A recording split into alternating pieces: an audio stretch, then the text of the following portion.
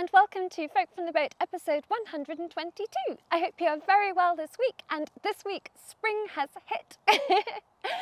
so it's kind of uh, one of the excitements in, uh, in Britain and I guess in loads of other places. I've just never hunted for bluebells in any other country um, to try and find these. And we're in a forest nearby the boat, Epping Forest, uh, which is huge and basically runs like parallel to the Lee Valley, the River Lee Valley.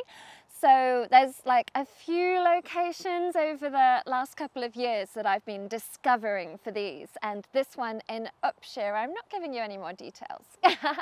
it's a little bit of a hidden treasure. So come and enjoy time in the woods and enjoy listening to the beautiful birds.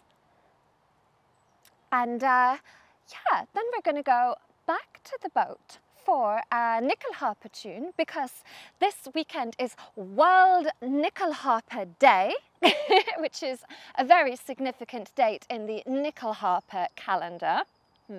And uh, so I decided to set myself a challenge of learning the Akademipolska by Eric Sahlström.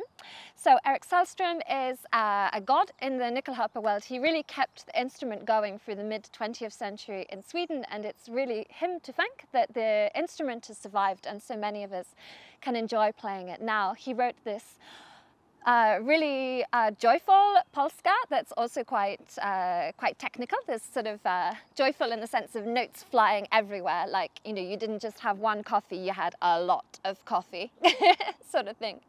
So I've been having a lot of fun playing around with this polska. So I'm going to take you back to the boat now and explore it.